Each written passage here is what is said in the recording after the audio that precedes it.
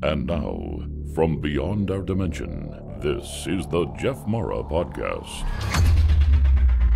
Here's Jeff. My guest is Sinead Whelehan, a profoundly deaf woman who has had experiences with phenomena since the age of four. In 2017, she consciously met extraterrestrials for the first time, and they have continued to show up in her life ever since. She was a research and interview assistant to ufologist Grant Cameron for two years and is now working with QHHT regression therapist Barbara Lamb. Sinead, thank you for joining me and welcome. Thanks so much, Jeff. It's a pleasure to be here and I appreciate you having me. Thank you.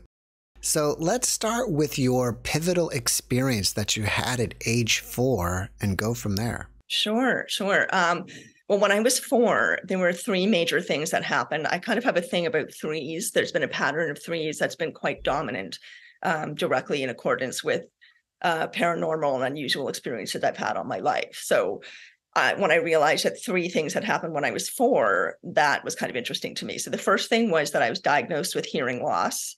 And even though I am profoundly deaf, I have a 90% hearing loss. I use cochlear implants to hear. So I'm part robot in a way, which is kind of neat.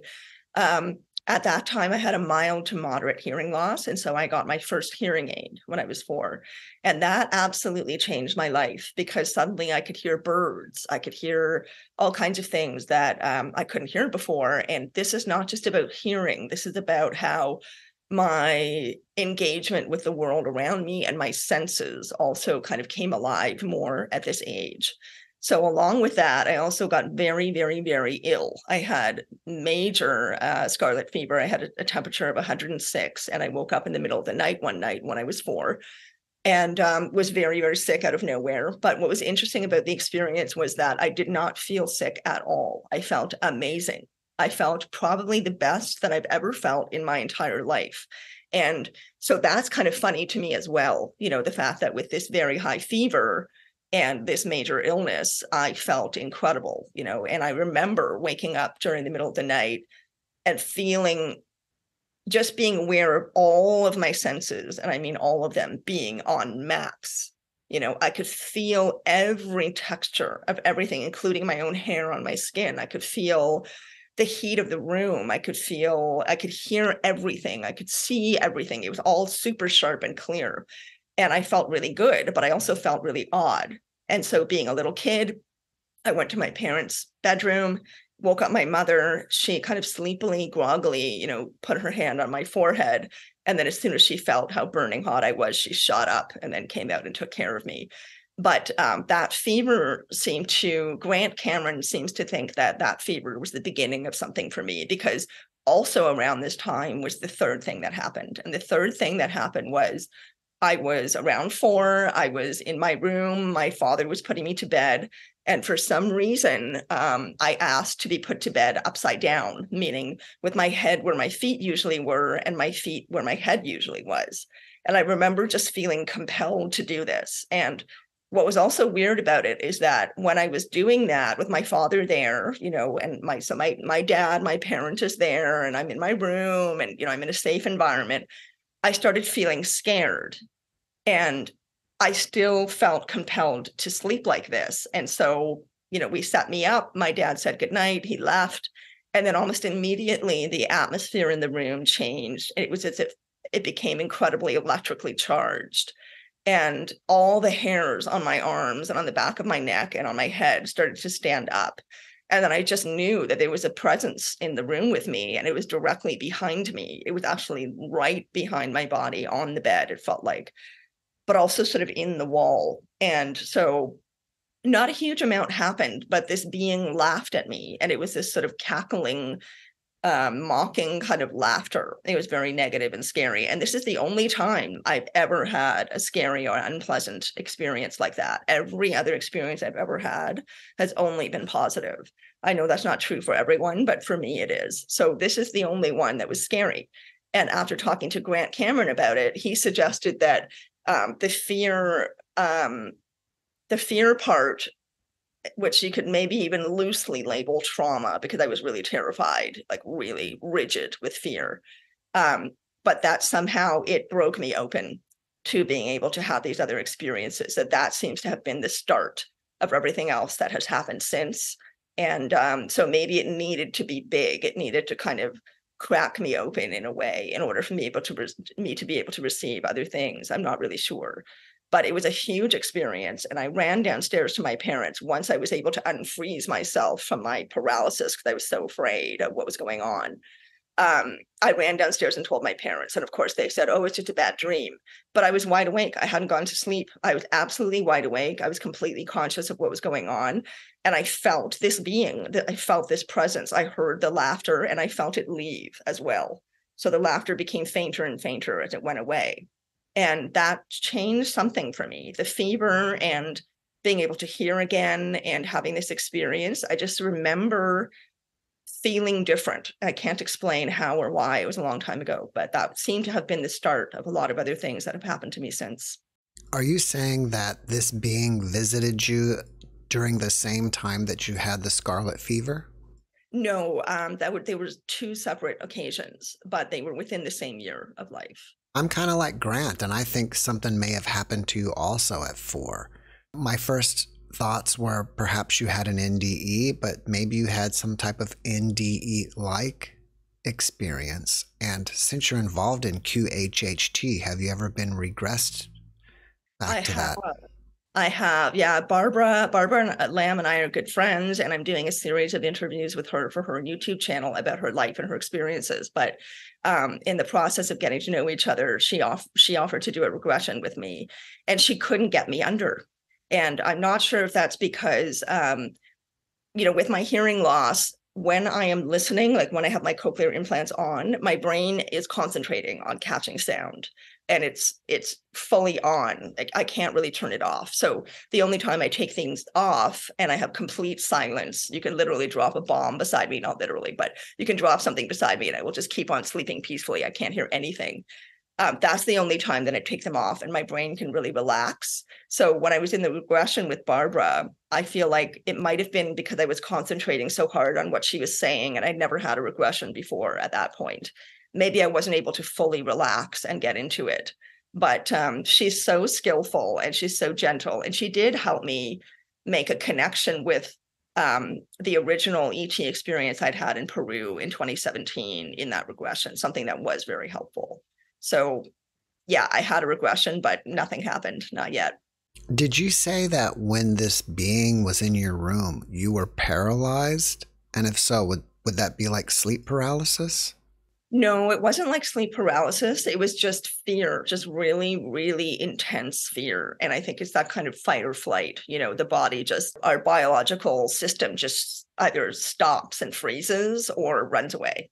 You know, so I think it was just that base human reaction to what was going on and i was so young you know i didn't know what to do right it didn't even occur to me to to try to leave my room until i was able to unfreeze myself but i actually did get to a point where i gathered all my courage and i turned over to see if the being really was behind me and of course there was nothing there but the presence in the room was it was a remarkable remarkable sort of electrical energy. It felt like electricity. Yeah almost as if the way you feel electricity in the air just before a storm comes. It was kind of like that. Now that you're older and you've had ET experience, do you think it was an ET or some dark entity?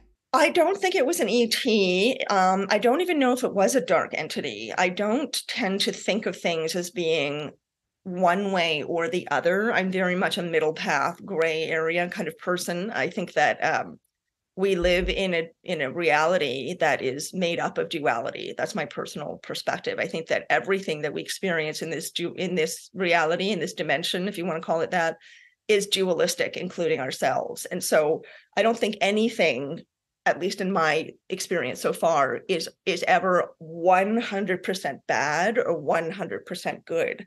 Because if i think about it like this that experience with the being I had when I was four, it was terrifying. I did not feel like the being was trying to help me. I felt like it was mocking me and laughing at me.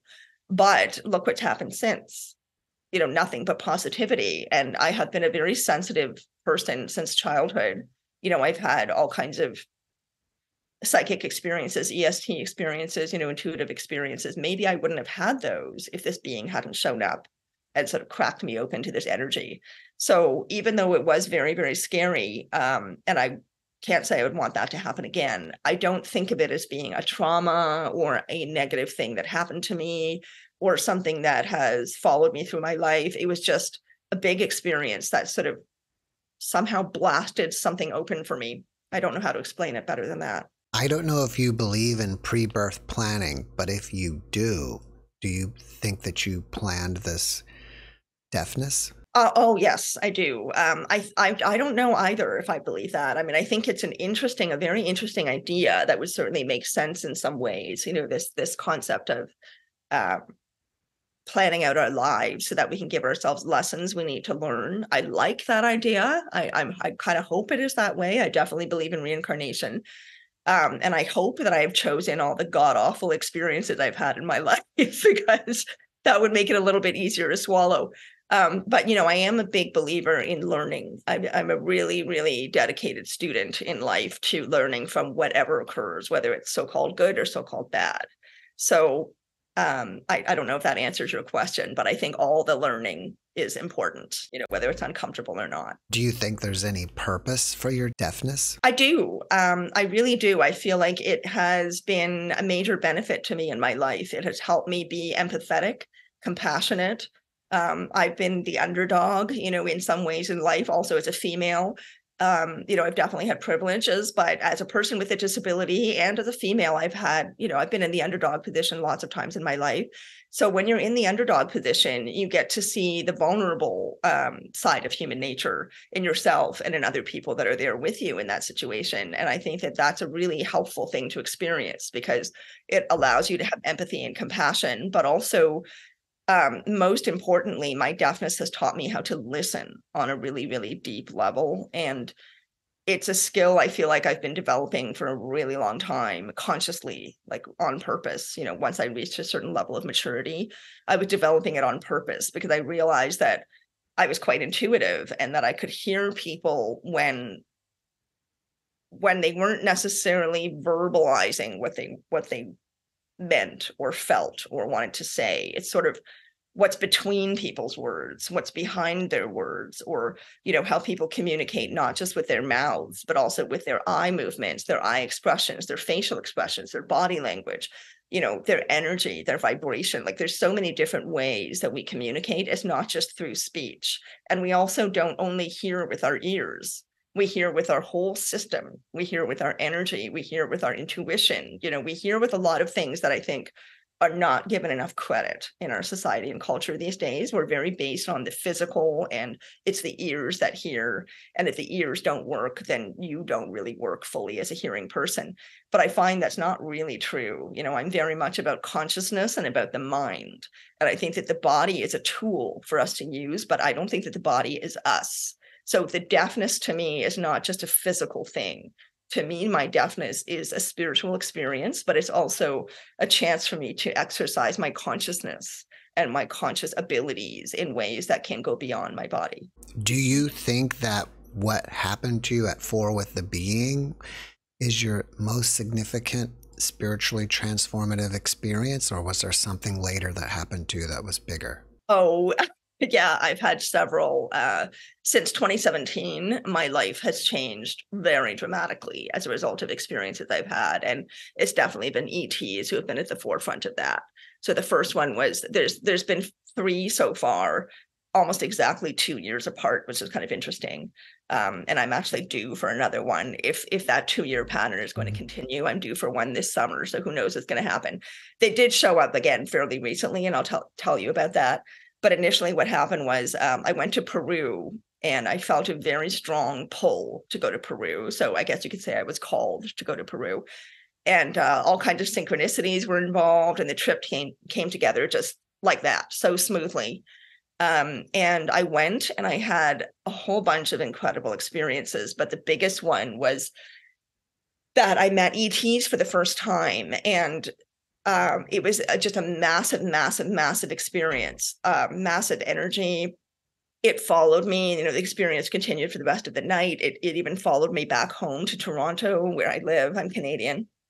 Um, it followed me back home, you know, two weeks after that. It was just really amazing experience. And then almost almost exactly two years later, in August of 29, July of 2019, I had a massive awakening. And um, I'm only using the word awakening. It doesn't really fit for me because I feel like I was already working very hard on myself and having other experiences, but this was the biggest one. I call it getting bonged on the head with the cosmic frying pan. It really felt like that. I felt like it felt like the, the ETs just bonged me over the head with this massive, massive cast iron skillet and said, okay, it's time. You know, we've been with you all along. We're here now. Okay, you got a job to do. This is what we're going to do. And I had, I was not in ufology at all before this. And I mean, at all. I was not thinking about ETs. I was not thinking about UFOs. I was curious. I believe that the universe is definitely a bigger and more mysterious place than we could ever possibly know. And it definitely made no sense to me that we would be the only civilized so called life in, in the universe or the only life in the universe at all here on Earth. That makes no sense.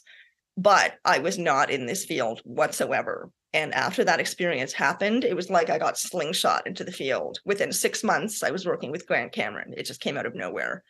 And then the third big experience was in Illinois in August of 2021. So, again, almost exactly two years afterwards, where uh, a being appeared in front of me at a CE5 presentation and proceeded to give me a massive energy merge that went on for several hours. And I have a photograph that I'm going to share with you in the audience that's related to that story.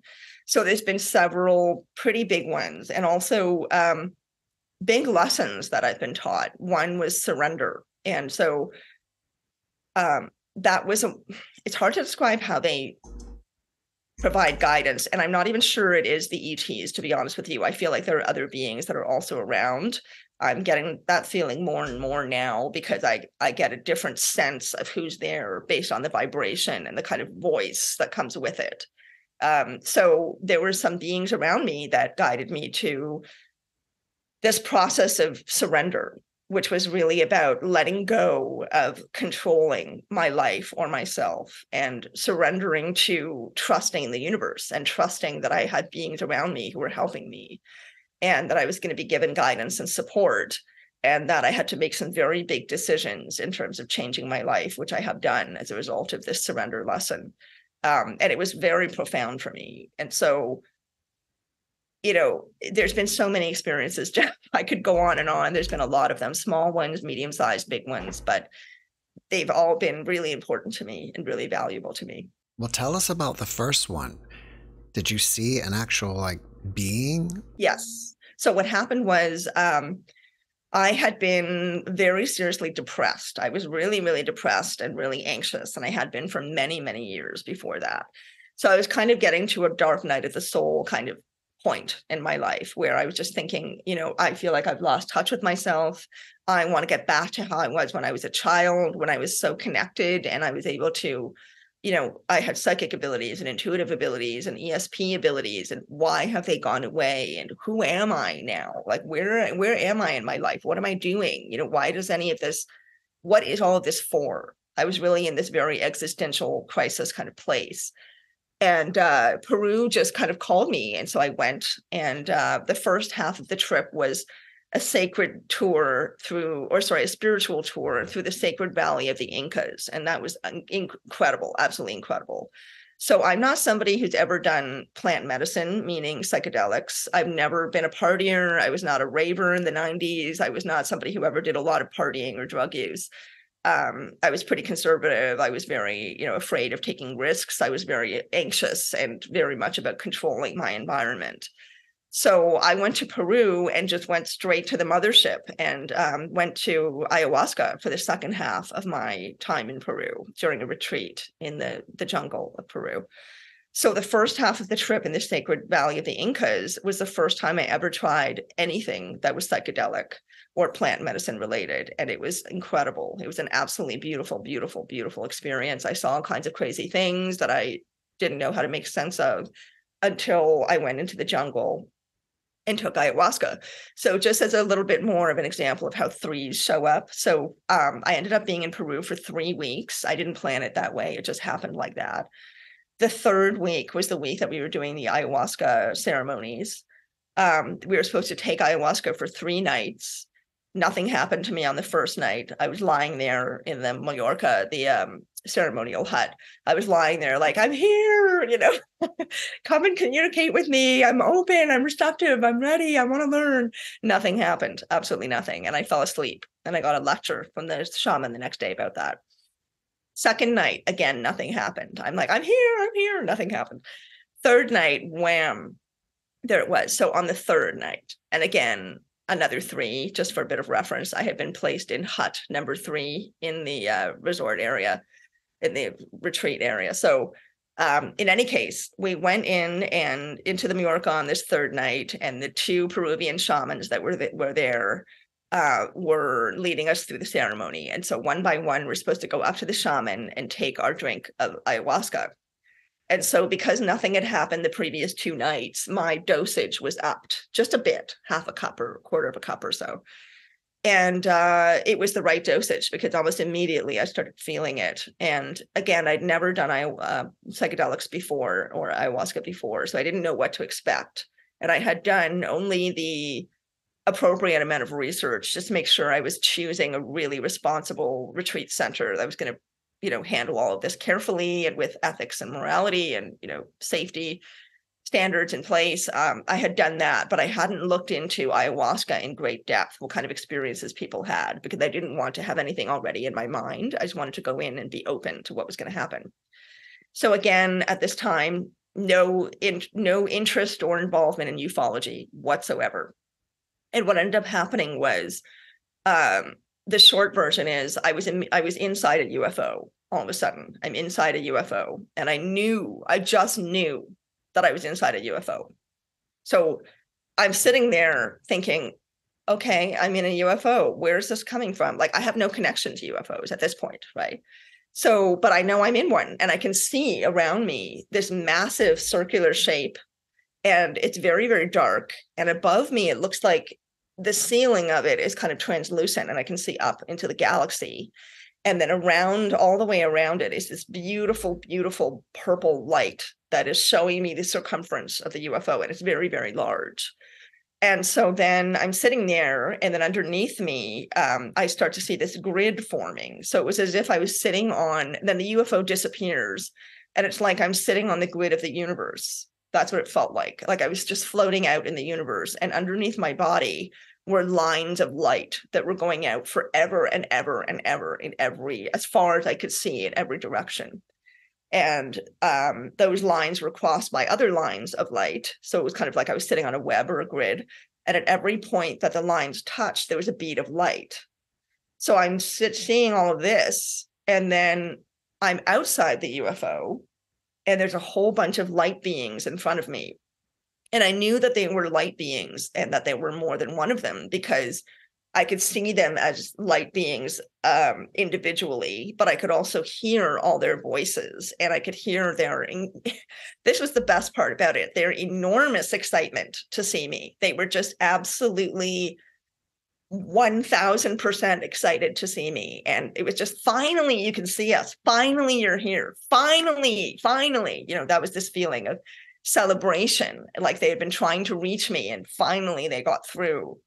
And then um, so they were made of light but they were like flowers and lines and dots and fireworks and wheels that were spinning and moving and they were all very very excited and joyful and spinning and moving and sort of creating little sparks of light. And they were all talking to me and saying okay okay um, now we're going to go up we're going to take you up. We're going to show you stuff.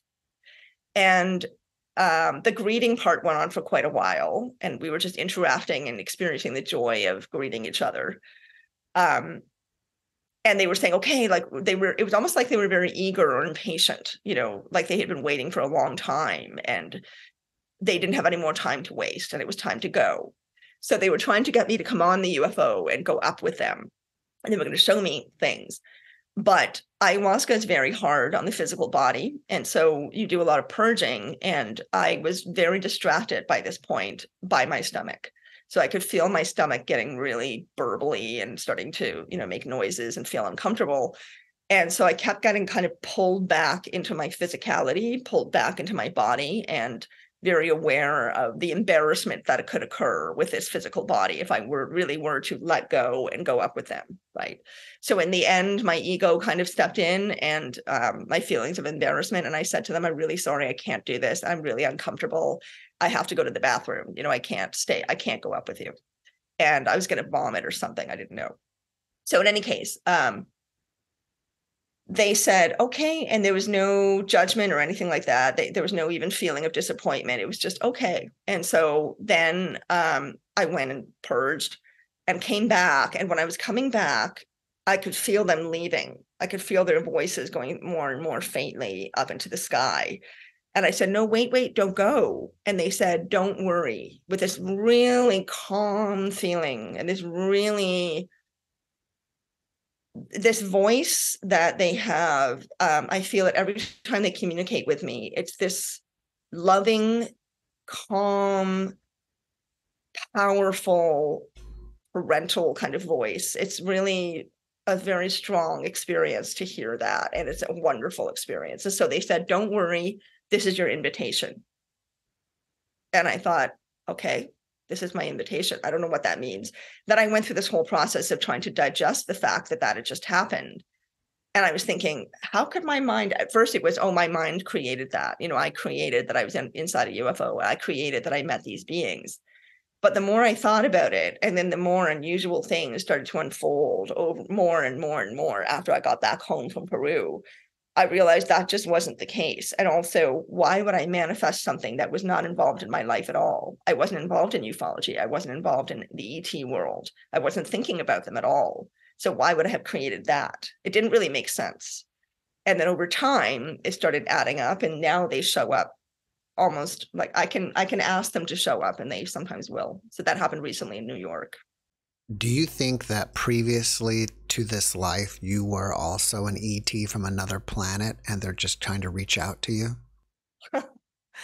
I don't know. Um, what I can tell you is something I know you've heard from guests before. You know, I don't feel like I fit in here. I don't feel like I've ever really fit in here. You know, um, I've never been able to be normal. And everybody who knows me well knows that I've had a really hard time with fitting into norms. I just don't do them very well. And so um, I, there's a lot about human behavior I don't really understand that I have difficulty with. Um, there's a lot of social cues and things about just how human beings are with each other and what seems like a very easeful, natural way that for me have not been easeful or natural. And I've had to teach myself. And I've also always felt like I'm observing. I've never really felt like I'm part of what's going on around me. I'm I'm observing, you know. Um, and I think my deafness was helpful for me in that way as well, because I was the only kid I knew growing up. I never met any other kids who had hearing loss. So I was always the one on kind of on the outside observing and studying everyone else and developing coping skills, right? And abilities to function um, and disguise my hearing loss. But in general, I've never really, um, there's a lot of things about life on earth I just don't relate to and I don't understand. Yeah. So in that sense, maybe in that sense also um, i feel very comfortable with ets being in my life. I feel comfortable with the communication. It's not something that's ever felt scary or overwhelming or too much to me. It just feels familiar and it feels like it makes sense. So maybe that indicates something. So how did your life change after this? Did you start reading books about ets and watching movies or or, or did you become no. more interested no, I didn't. So I went to Peru 2017, had this big experience, um, had a bunch of crazy synchronicities when I got back home around ayahuasca, mostly around ayahuasca and Peru and shamanism. Um, and I did feel like that experience had really changed me and helped me. And, you know, I felt energized and inspired and reconnected with myself by the time I came back. So I was kind of focusing on that, but I was still struggling with uh, living a life that wasn't really right for me. And um, I was a public school teacher and I was working all the time and it was really burning me out. I was exhausted. So I feel like I was very caught up with this, the kind of mundane, in my face responsibilities and obligations of my life at that time. And I wasn't really able to get into it. But it was still sticking with me a bit. I just wasn't taking a lot of action.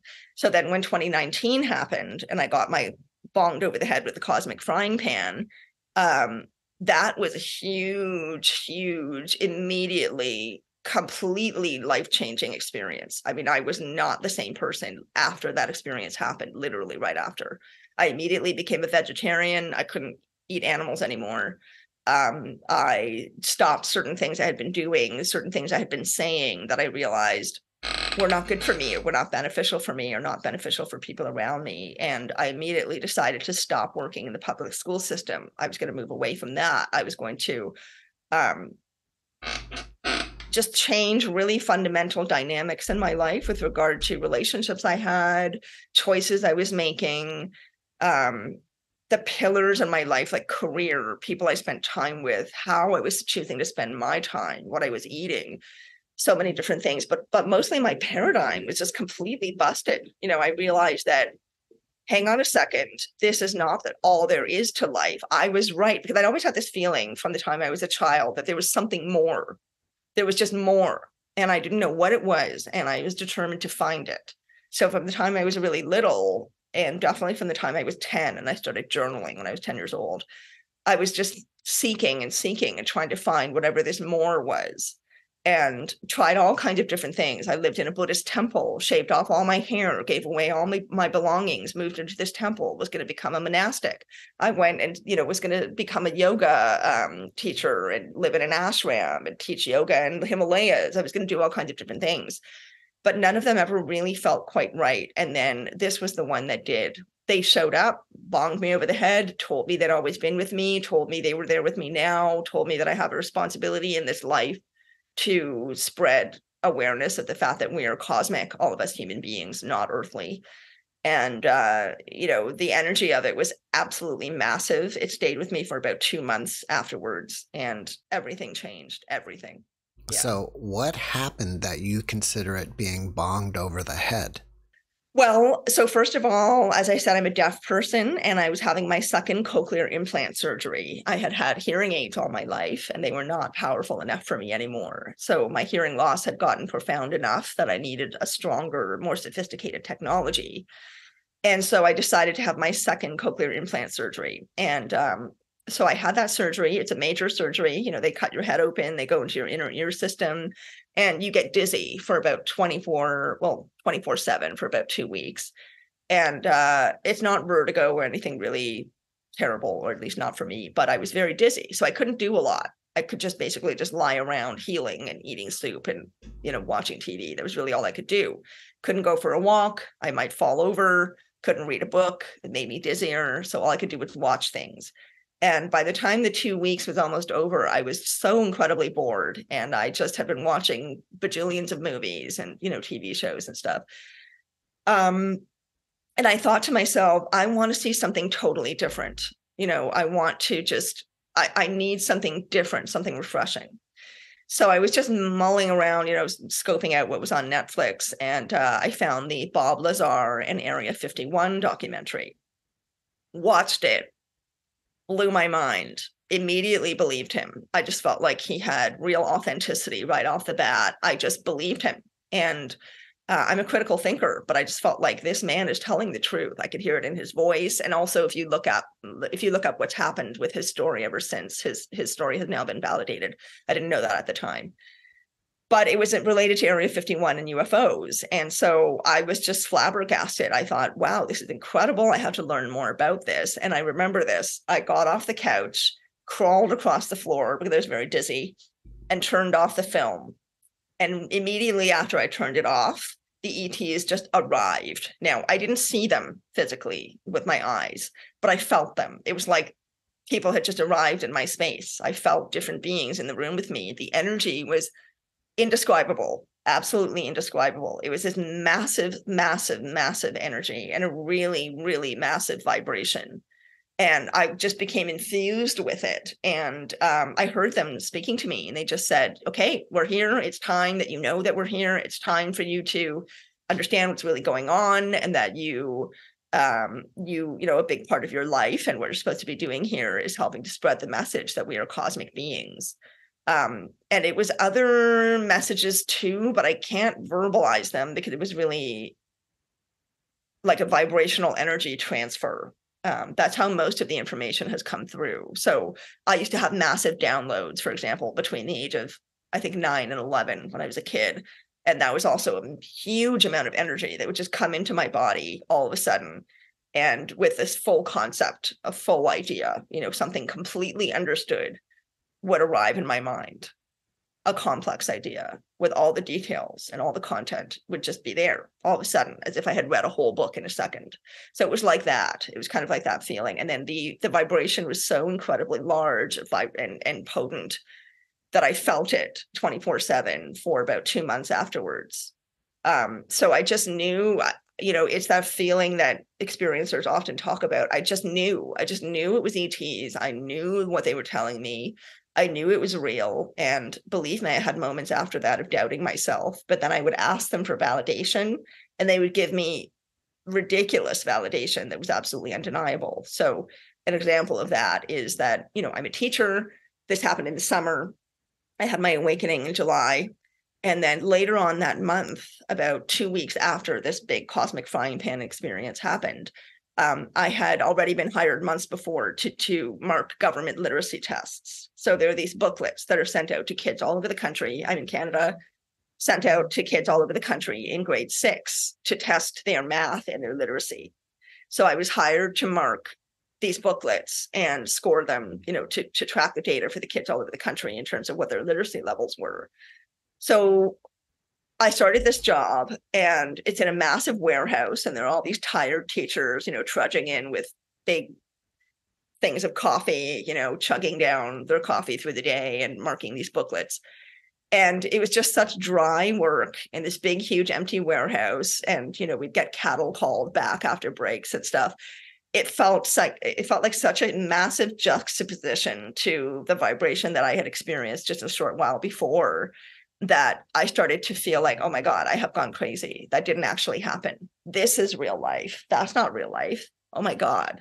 You know, so I started getting worried about myself. And I went home one day after work, three days after I started this job, and came home and I was very upset. And I just said, you know, I started talking to them out loud. And I'm not someone who grew up religious. I don't pray. You know, I never prayed in my life, but I just started talking to them. And I was sitting on the floor of my living room, crying a little bit, really, really distressed and stressed out, wondering if I was mentally well.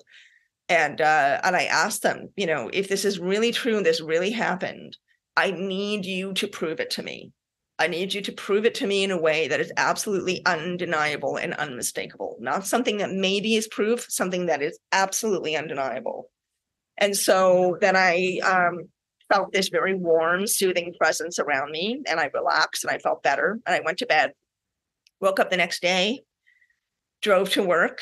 It started as usual. You know, this guy who's running our particular room, there's 50, 50 or 60 teachers in this one segmented room and we have a team leader and he's up at the front of the room saying okay everybody the quota for today's booklets is blah blah blah this is what our schedule is so uh, we get started and what we're supposed to do is just walk up to the front of the room where there's this massive floor to ceiling shelf and just grab a random stack of booklets bring them back to our desk and start marking them. Well on that particular day i went up and i pulled this random stack of booklets off the shelf brought them back to my desk opened them up and I start marking we're supposed to mark exactly the same question over and over and over and over again, right? So each kid answers the question differently. These are kids who are 10, 11 years old, they're in grade six. They're supposed to be writing about the day they became famous. It's a, a fiction, it's a creative writing challenge for them.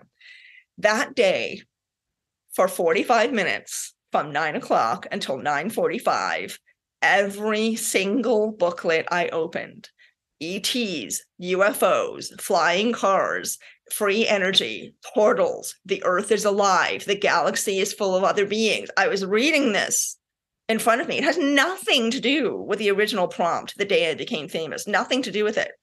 And here are these kids in writing, in pencil, in six, you know, 10 to 11 year old child writing, there's a portal in my bedroom. I designed time travel. I made a time machine. The earth is alive and conscious. She knows what we're all doing on her. There are spaceships out there. I mean, I just couldn't believe it. I could not believe it.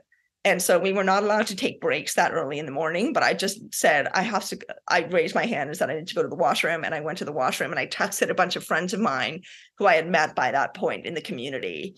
Um, because immediately after my awakening, I just started reaching out to people for help. I needed to understand what was going on. So I connected with the lovely Kosta Makreas, who you have interviewed. Mm-hmm. He was immediately there for me to support me. And so I texted him and a couple of other people he had introduced me to and just said, I just have to tell you that this is, I need to tell you this happened and I need you to tell me if this is real. Did this really just happen? Meanwhile, there are hairs standing straight up on my arms and I'm in the stall in the bathroom furiously typing this. They all wrote me back and they said, Yep, this is what happens. You know, this is exactly it. I mean, how can you deny that? You cannot deny that that is validation. Not to mention, when I came back from the bathroom, um, the rest of the booklets that were on my desk, I think there were three or four left. None of them have any had anything to do with it. It was all back to the question. And for the rest of the day, it was the actual question that was being answered by the students. I became famous because of YouTube. I became famous because of this.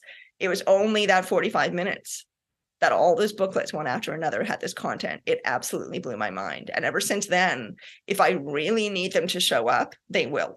If we go back to that experience and you said you heard those voices, I think this is especially interesting because of your cochlear implants.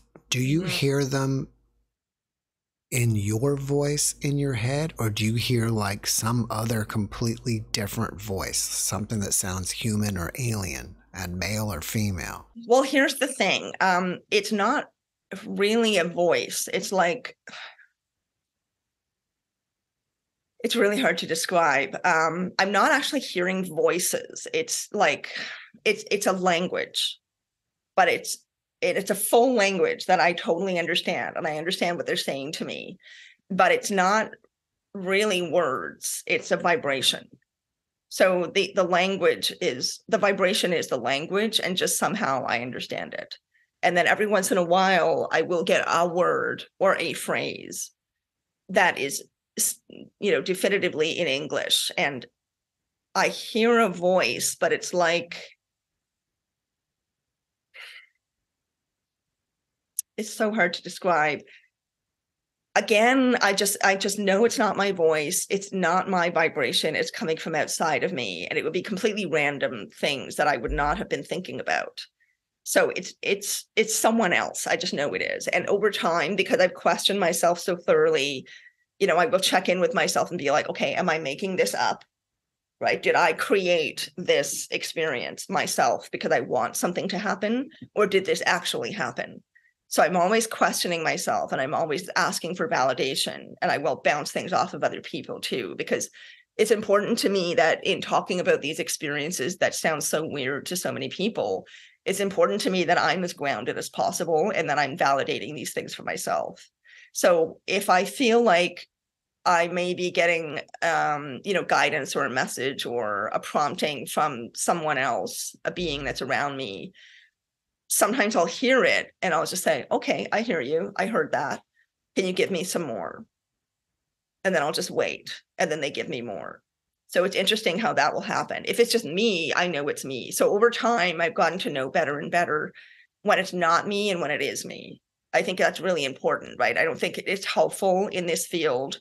Um, I don't think it's helpful to other experiencers or to researchers or to interviewers like yourself if people don't really check in with themselves and make sure that what's happening is really happening because we can our minds are incredible things we can create all kinds of stuff right so i'm really careful about that asking myself when it's real and what isn't have you ever questioned that these hearing problems that you've had throughout your life predisposed you to be able to hear these ETs when other people cannot?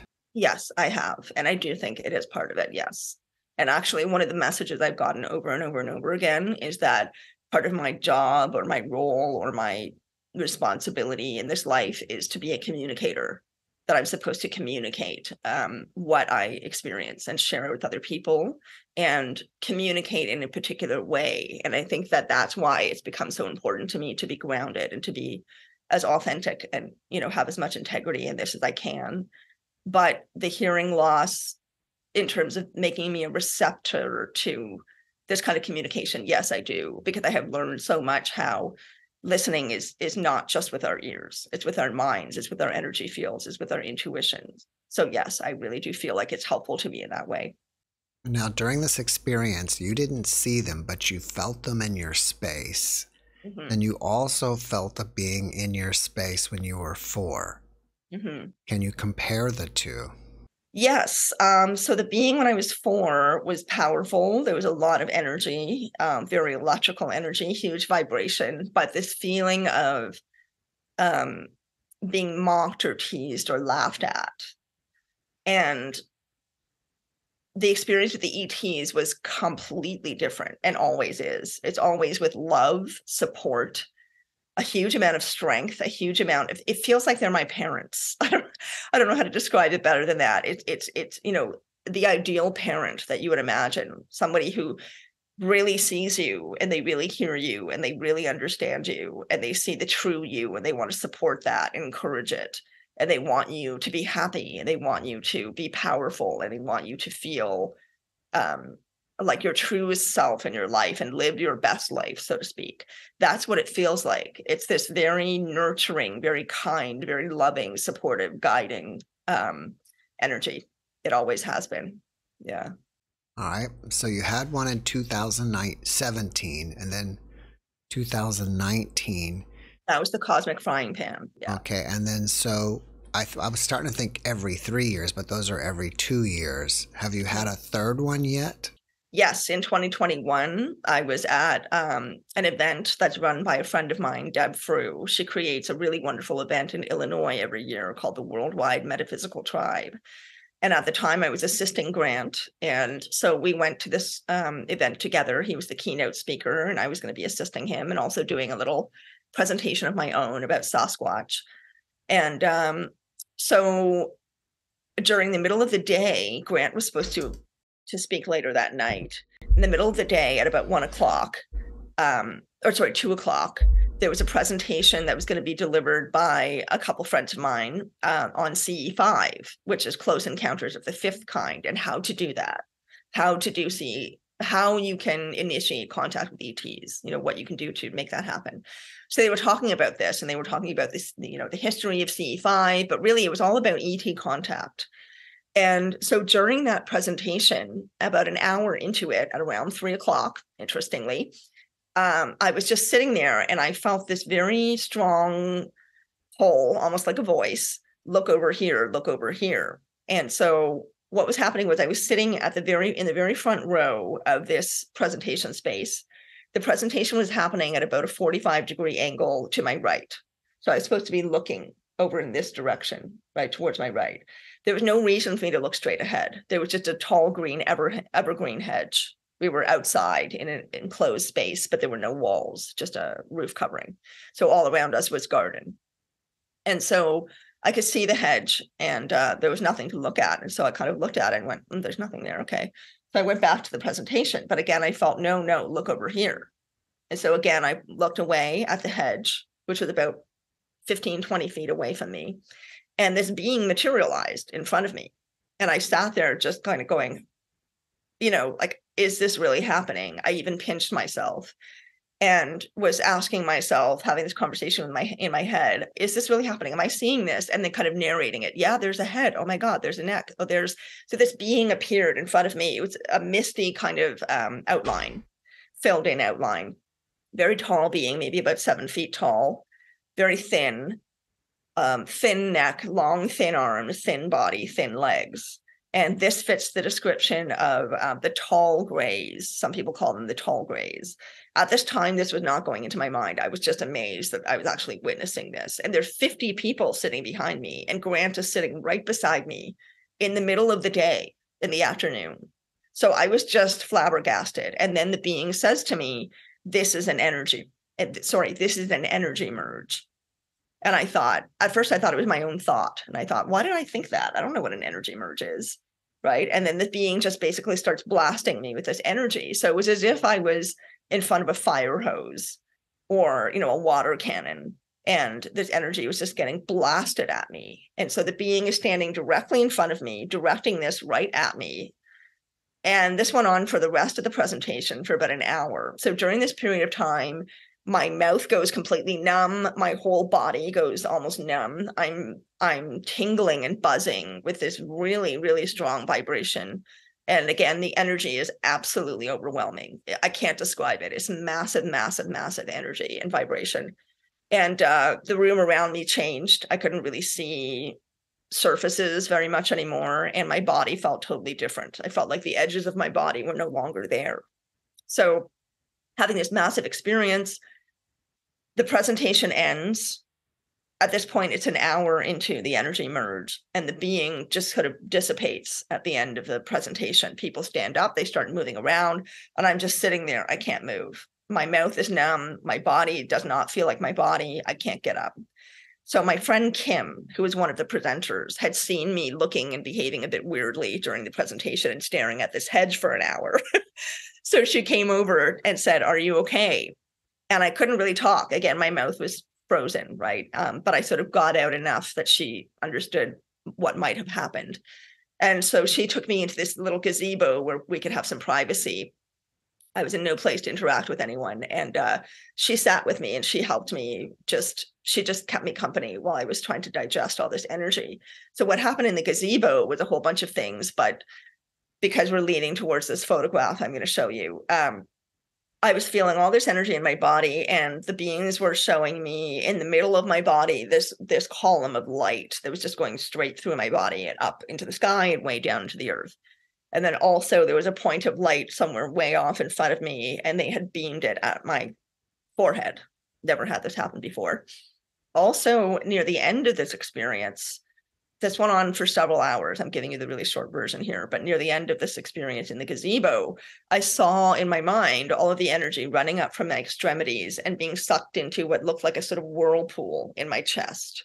So it was as if, you know, it was running from my toes up my calves, through my knees, my thighs, out through my body, into my chest, from my arms into my chest. So, like there was a vacuum cleaner and it was just sucking it all up, and I could see it swirling around and disappearing into my chest. So then um, I again couldn't really speak, couldn't move very easily. I needed to have some help to get up to my bedroom where I could just collapse for a little bit. And the being showed up again there for a short period of time. And then I fell asleep out of nowhere. I don't remember falling asleep for two hours. Woke up out of this sleep, felt completely normal again. And it was almost time for Grant's presentation. And so I ran downstairs, assisted him with that. I don't know how I did that. I was completely out of it, but I did it. And then um, Grant knew at that point that something had happened. So he sat me down and asked me what had gone on. I described it to him. And then we were late for the C5 that was happening across the street in front of a cemetery. Um, at the, this, we were staying at a little B&B where this event was happening. So the cemetery was right across the road. And there was this big CE5 happening with all the attendees. So we walked over to the CE5. Now, from here, everything that happened was told to me because I really am very deaf, even though I don't look or sound like it. I really am. So in the dark, I can't hear people because I can't see your mouth. I can't see your facial expression and I can't see your body language. So I could hear that you're saying something. I can hear voice, but I don't know what is actually being said. So we start walking, Grant and I start walking towards the CE5 circle. As we're getting closer to the circle, and then as we walk into the circle and sit down in our seats, people in the circle start saying, Whoa, whoa, whoa, what is that? There's really huge energy that's just come into the circle. What is that? What is that? And I'm not hearing any of this, right? Grant tells me this later on. So they're all saying, Whoa, whoa. And so Marcel, who is leading the CE5, he's feeling this as well. he says, Yeah, some really big energy just came in. Can everyone just pause for a second? They had been meditating. And please point to where you see the energy. And in the dark, they all pointed to where I was sitting I couldn't see this. I couldn't hear this. I didn't know this was happening. And so Grant leans over and says to me, They're picking you up. Ha ha ha. You know, like you're an antenna. And I didn't know what he was talking about. So I just kind of went, ha ha ha, yeah. And didn't have any idea what he was saying, but just went along with it. And um, then uh, Marcel says, okay, everybody, we're feeling this energy in the circle. Let's take a pause. Please take out your photograph, your, your cameras or your or your phones and let's just try an experiment. So everybody, please point and click. You know, just point randomly around this area and take pictures, and we'll just see if anything shows up in any of the photographs. So at that point, I'm still sitting with Grant, still have no idea what's going on. This woman comes over to Grant and me and shows this photograph that she's just taken of the two of us. And in the photograph, there's a little ET standing right beside me, and there's a big light coming out of my chest. And I have submitted that photograph to a friend of mine who works for Getty Images, where they can check out images for authenticity, make sure that they're not edited or altered in any way, he checked it out for me. He cannot explain how that little ET is there. He cannot explain how that light is there. It was pitch black darkness. So in the photograph, it looks like it's daytime. There was a light filter over top of it to make just make it more visible, but nothing in the photograph was altered. So he verified that for me. And I also submitted it to my friend Dakota, who's a professional photographer. She cannot figure out how those two things show up in that photograph. It just makes no sense. So it was quite a remarkable day. And so what seems to be happening is they're showing up you know over stretches of time and in smaller incidences as well between these really big energetic two year apart events but um it seems to be increasing so now they're showing themselves to me. Now they're giving me more energy. Now you know so and i'm starting to see ufos more. So it just seems to be gradually increasing. And um, i feel like that kind of connects a little bit to what happened most recently in new york. A couple of weekends ago, I flew to New York for a UFO conference. It was a wonderful conference run by two guys named uh, Jay King and James Iandoli. And the event is called Inquire Anomalous. I'm saying this so people can check it out. It's really great. So, really good quality information, wonderful speakers, had a great time. And so I said to my ETs who don't show up a lot in the cold winter months, they tend to show up in the warmer months um, more, a lot more.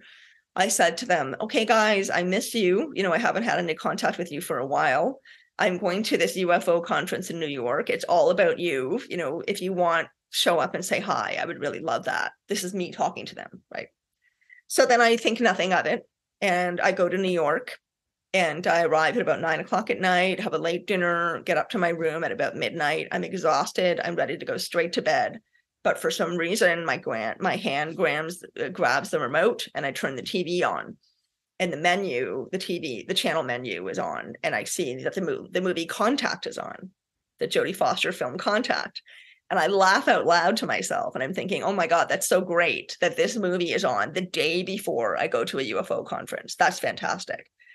So this is what happened essentially. I this all happened in the in a fraction of a second. I'm i'm pressing the button to go to the channel where contact is playing and as i'm pressing the button i see in my mind that entire scene the famous scene when she arrives in the other dimension on the on the beach and sees her father who isn't really her father walking towards her and then she has this conversation with this being right so i see that whole scene in my mind click on the channel, contact comes on TV. Guess what scene it was? Exactly that scene, starting at exactly the point I had just seen it in my mind. So I knew that was them, right? And so I just said, Hi, thank you for showing up. I just knew. And uh, got back home at the end of the weekend and found this invitation from you to be on this podcast. And I don't really feel like that's an accident. You know, I feel like this is a really nice kind of opportunity to get to talk about them, you know, and talk about the fact that they really are here. Governments all over the world have admitted, you know, it's now a fact. You can find it, actual real information sent out to the public by governments all over the world saying, yes, UFOs are real. Yes, ETs are real because they're automatically real if you if UFOs are. And yes, we're investigating them. This is real. This is actually really happening. And I love it. And I love that we are living in a time that we get to experience this and share this. I just think that that is amazing and exciting. And I think that it can really change all of us for the better if we wake up to the fact that we're cosmic, not earthly. Well, I'm glad to be part of the list of your synchronicities. Thank you. um, let's take a look at that photo you're talking about. Okay, I'd love to. Here's the first photograph. Um, this one is not very clear. And of course, it looks like daytime, but you can see one, two, three, four stars in the sky, five, six, seven. You can see stars there. So this is during uh, nighttime. there is one lamp off to the left that you can't see in the photograph that was a parking lot lamp. It was off at a bit of a distance. So it cat a very it cast a sort of faint orange light over to where we were. Um, but it was very very very dark. We couldn't see the cemetery stones. We could see the outline of the trees. And so this is a random photograph that was taken by a woman. I didn't know who's in this circle. Um, now you you're seeing the very very very edge of the ce5 meditation circle this is just the one side of the circle. The rest of the circle is over to the right outside of the edge of the photograph. And then if I go to a more zoomed in version, then you can see Grant Cameron, who was there with me at this time. This is him sitting right here in the foreground. And he's turning his head away from the camera towards me. I'm sitting beside him. So my chair is on the other side of Grant. I'm leaning a little further back behind him. And then right here, you can see my hand is up and there's a little being right there. And here's the bright light coming out of my chest with these kind of tendrils of light as well, which is kind of interesting. Um, and then here's a really super duper close up version of the little being. Would you say that that being is standing right next to your chair? Yes yeah and i felt it there you know even even during that experience i i knew that they were still there i could just feel them and i was feeling them to my left interestingly so when this photograph was taken this little being is standing right beside my chair i mean you can see the cutoff point right you can see mm-hmm. where my body is there and here's the little being's shoulder and there's neck its head you can see the eye right? And there, there are other beings in the photograph as well, but they're a little bit harder to see. I showed this picture to Barbara Lamb, and um, she's an expert. She's been in this field for decades and decades, and she's seen photographs like this before. She sees several other beings in the photograph, and she urged me to send it to Steven Greer, and I did, and I didn't get a response from him, which is totally fine. He's an incredibly busy man but um, as much validation as possible i would love to get because i feel like that that is important. And i i see this being i mean to me it's very clearly there. So this is just a little guy. This is like a three or four foot high gray mm-hmm. i think. Why do you think you had your hand up at the time? I was talking. Mm. i was talking with grant. Yeah we were just chatting but we were talking about the energy in the circle and i was still very very very much reverberating with all the vibration of the energy mirrors that i had had just a few hours before. So um, i think i just kept you know that vibration was still with me and i carried it with me into the circle and these beings were around. Have you ever asked anybody why can you see the et in the film or the digital image but you can't see it in real life Yes, I have. Um, I feel like that answer is provided to us by modern science. Um, and modern science is telling us because science is constantly changing, right? And I think it's really important to pay attention to what is progressive and what's new, what's boundary pushing. Um, so science is saying that we are not able to see all the things that are around us. Our human eye is limited, it can only take in a certain amount of the light spectrum, right? So there's a lot. I mean, this is a fact that we cannot see everything that's around us. Um, scientists have have made have proven that. Not to mention, quantum physicists have now proven that we live in a multidimensional reality. So to me, multidimensionality and the fact that the limitations of our human body exist prevent us from having the absolute full experience of everything that's around us all the time. And I think it's also really important to be aware that or at least have a willingness to um, to be curious about how much we don't know about ourselves about our nature about our bodies. We're constantly constantly evolving learning and changing and i think we're way too attached to definitions and answers and it keeps us from being curious and exploring. You mentioned earlier that you surrendered to their lessons hmm. can you tell us some of the lessons that you surrendered to Sure. So um, I was at a, a, major crossroads with deciding what to do about my career, my job, because um, I really love kids, young people. I've worked with kids since I was 11 years old in, in a variety of different ways. I was a babysitter, I was a nanny, a mentor, a tutor, uh, you know, a public school special needs teacher, a guidance counselor briefly. Um, you know, I ran the Gender and Sexuality Alliance at my school. I restarted it. So being there for young people was always extremely important to me, but um, I felt like that relationship was getting lost in the bureaucracy of my job and also the politics and all of the responsibilities that teachers are expected to fulfill now which is a really really heavy load and um, if you have special needs students you are having to create the wheel uh, recreate the wheel a lot because these kids have special needs they can't function in the usual way and they need support so i was basically working all the time and i was completely burned out so I was really um, in a you know a bit of a crisis spot with it. I was depressed. I was burned out. I was not enjoying it anymore. I did not relate to the bureaucratic processes and the structure of the school system, and I was really feeling like I was at the precipice of becoming something else. You know, um, moving into a very different phase of my life. But I felt this fear about giving up the so-called golden handcuffs, a job for life, excellent pay. Teachers get paid well in Canada as opposed to the US. Um, excellent pay, benefits, you know, time off, blah blah blah. All these things that people people who many many people would love to have, and I had this. And so I thought, oh, you know, on paper this is so great. I shouldn't throw this away. It'd be really foolish. But it was basically ruling my life. You know, I was working all the time. I was exhausted. I was stressed. I didn't have energy for myself. I didn't have energy for my friends and family. It just was not healthy coinciding with this was all these experiences I was having and the fact that they were having they were happening more and more and more and I felt they were really pushing me towards a different way of being and living and in the world and in the universe and they were pushing me towards being a different type of human being and I wanted to do that and so I realized that I couldn't remain a teacher and do this and so I had to think very much about okay you know how am I going to take the plunge and do this with no idea of really where I would go afterwards. And I just kept getting so many messages and synchronicities that were giving me support, you know, telling me, no, do this. And so um, crazy things happened. I was gifted uh, a hundred thousand dollars out of nowhere. Oh, yeah, like literally out of nowhere.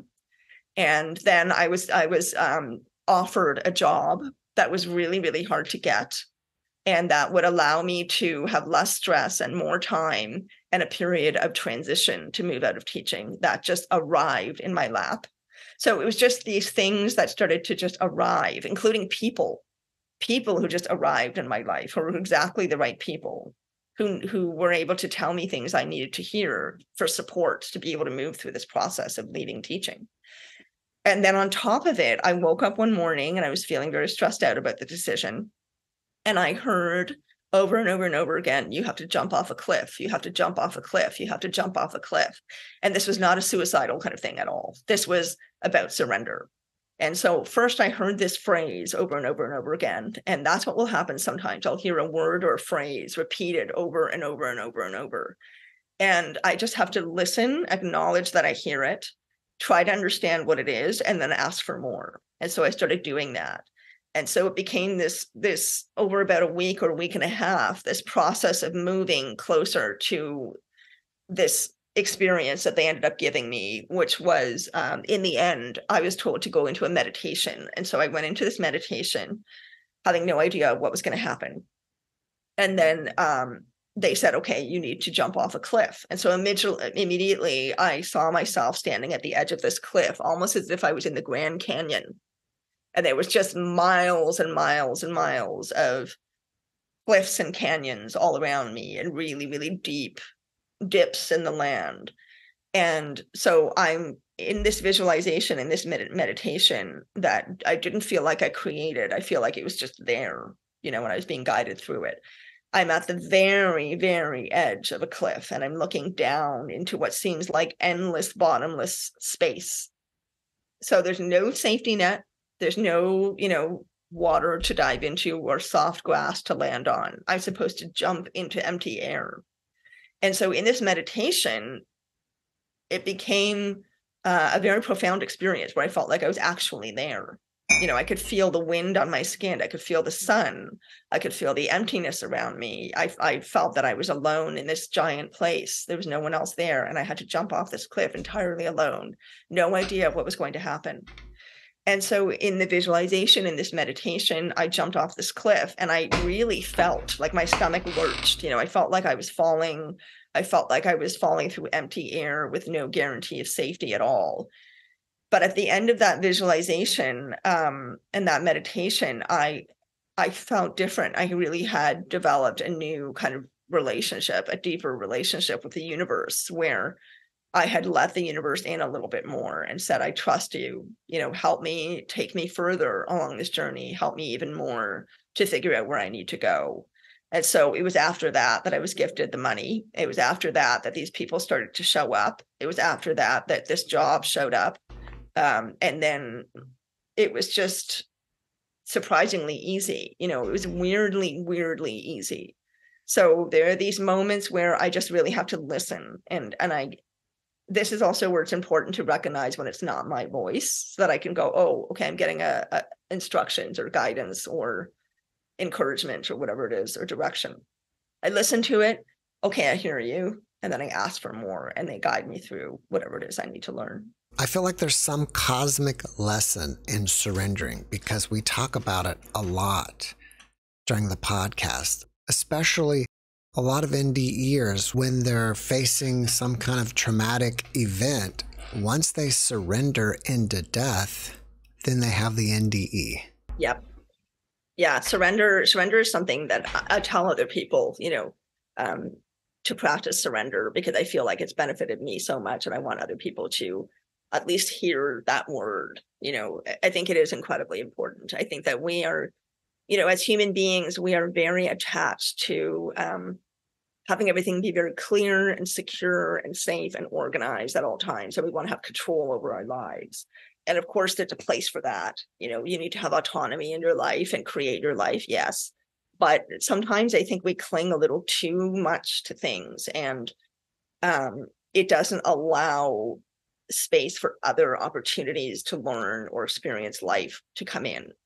So people who are anxious, like I was very, very, very anxious for a very long time, almost all my life. I had OCD. I was really anxious.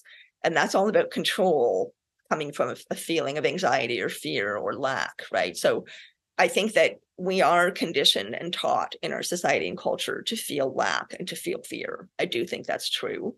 And I think we need to look at that and think about, you know, well, why? Why do I need to feel this way? How accurate is it really for me to feel this all the time? And is there any purpose in me feeling on guard all the time so I can be quote unquote safe? Like, really, is that a good way to live? Because we have to live life the fullest that we can, no matter what is going around on around us. And right now, we're living in a world where everything seems to be going bonkers and turning upside down. And we could get really scared and really anxious and and try really hard to control everything to make sure that we still feel okay but my experience has been that what gives me more the most relief and the most reassurance and the most calm is the complete opposite is letting go and surrendering. And that doesn't mean being passive and that doesn't mean letting people steamroll roll over me. It's not a passive position. It's actually quite a powerful position. But it involves realizing that there's a hell of a lot going on that is beyond me and my control. I mean i think of myself as being a grain of sand on a beach how much the beach cannot exist without all the grains of sand. Otherwise, it's not a beach, right? So one little tiny grain of sand is important. So I'm important and you're important, but only to a certain point. You know, there's so much more going on around us that we need to be part of. And if we try to control everything really, really tightly, we don't really get to see that, I think. You know, that more expanded view of life. Do you think the ETs have any message for humanity at this time? Oh my God, yes. They want us to, over and over and over again, their messages have been to take care of the earth, to take care of each other, to um, to really take accountability, I feel, you know, to look at ourselves instead of looking at everything else around us and blaming that or them, but to look at ourselves and think about how we are living and, you know, really taking accountability and responsibility for how we are, how I am in my own life to people who are around me, to animals, to nature, you know what is my how am i treating the earth how am i treating other people how am i treating myself that might sound like well how can you possibly make any impact on the world that way but you really, really, really can. Mean, if you think about any great leader in the world, any of all, all the wise ones who have appeared to us, right, over millennia, they were one person. And we're still talking about them thousands and thousands and thousands of years later because of how they lived and what they had to say and what they thought and felt. So Jesus, we're still talking about him. Buddha, we're still talking about him. I mean, why are we still talking about these people? It was just one person. They just changed themselves. They just changed their own life. But the reverberation from that is so enormous and powerful that um, it really does have a massive amount to do with how things can change in the world just from one person changing themselves. So I think that we all need to stop pointing our fingers at everything that's around us, the government, this, that, and take accountability like really look at okay what are my shadows? How do i need to improve? What are things that i need to evolve in myself to be a better person? And that has a ripple effect that's really profound. When do you think the ets will fully disclose themselves to us?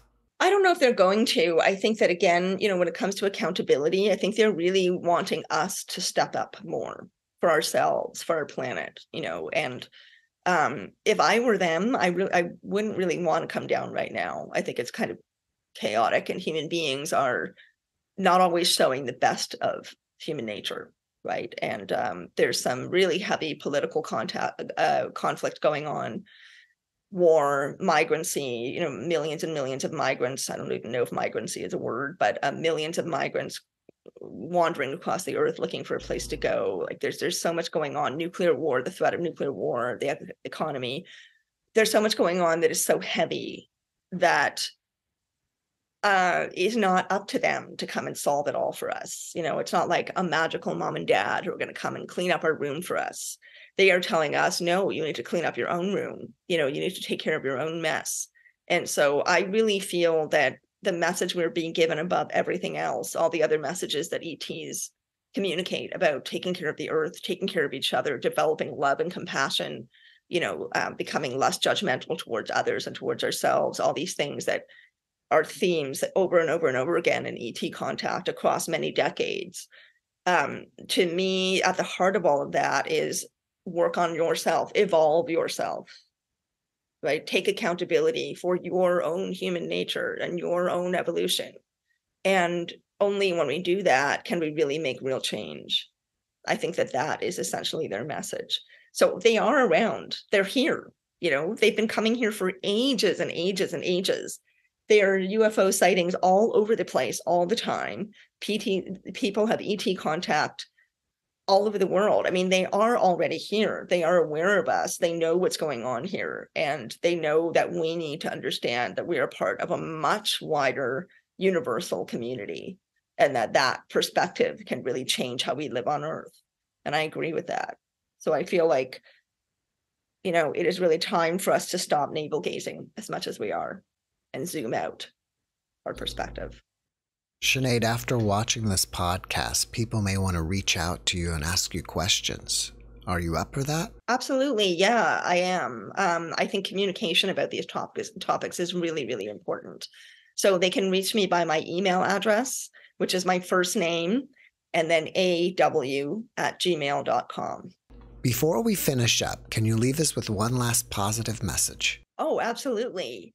Um, things are not as bad as they seem they really aren't. I think that we really live in a world that is made up of duality.